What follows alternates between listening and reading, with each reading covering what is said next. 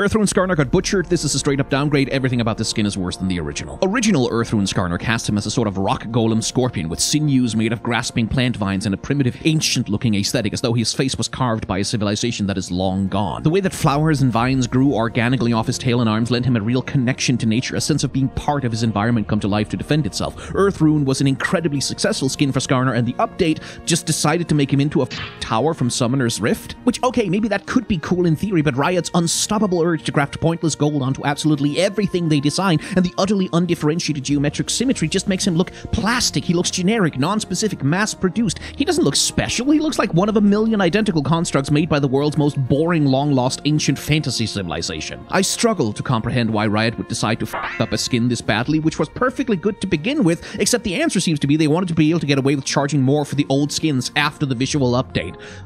Hell.